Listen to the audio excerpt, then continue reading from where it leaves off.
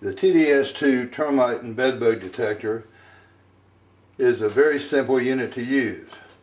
To turn it on, you press and hold the on-off button, and it takes approximately 30 seconds for the unit to warm up and recalibrate the ambient air to zero so that it will pick up any increase in carbon dioxide.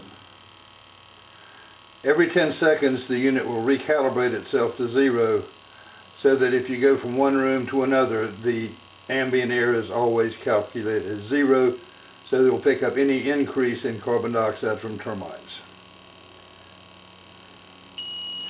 Once the unit is warmed up as it is now, it comes on in the medium sensitivity mode.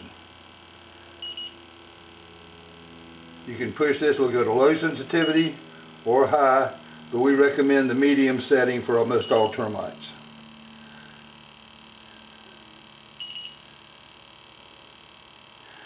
To test for termites, you sent this this container has two small termites in it.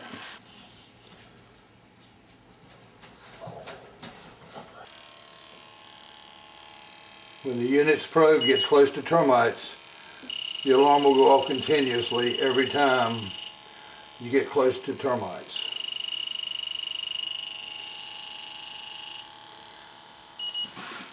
If you wish to test for bed bugs, you put you put the unit in high sensitivity and then you press the peak button four times quickly.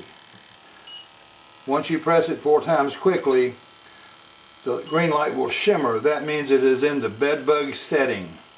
And that is the that is the setting you need to test for bed bugs.